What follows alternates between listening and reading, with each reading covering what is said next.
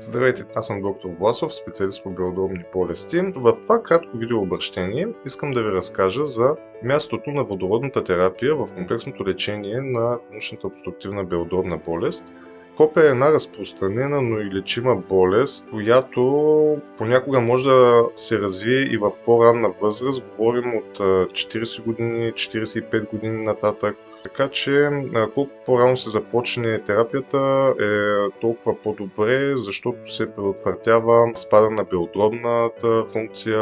забавя се темповете на ремоделиране на малките дихателни пътища, място където започва заболяването. Сигурно знаете, хронична обструктивна белодробна болест е една продължаваща и прогресираща в времето необратимо, необратимо ограничение на въздушния поток в дихателните пътища и белия дроб вследствие на един усилен хроничен възпалителен отговор от въздействието на увреждащи агенти от околната среда, какъвто е мръсния въздух, цигарения дим на първо място. Водородната терапия е много лесна за приложение. Тя е под формата на инхалации, прилага се два пъти на ден, примерно сутрин и вечер, като се започва с една инхалация от 30 минути и която може да стигне до 45 минути на ден, както казах сутрин и вечер. Много е важно за хората с хоп също така да развият физическа толерантност, да не се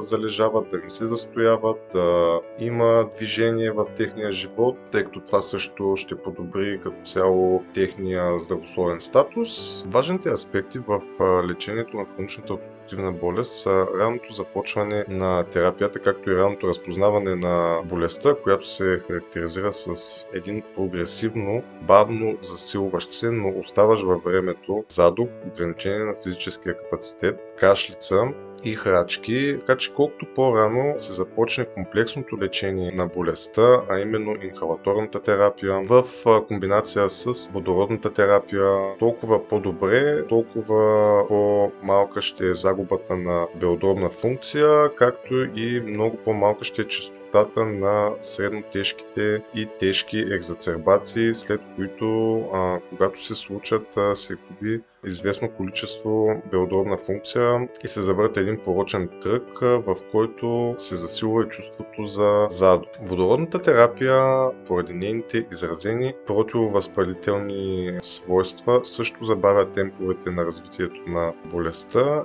и а, подобрява чувството за задух а, и като цяло хората започват а, да дишат по-леко, с по-малко симптоми, с по-малко кашлица, с по-малко отделяне на храчки, по-малко а, ограничения в а, дневната дейност. Ако имате въпроси за водородната терапия, може да се обадите на моя телефон, който е 0883 595572 и аз ще ви дам веднага обратен отговор.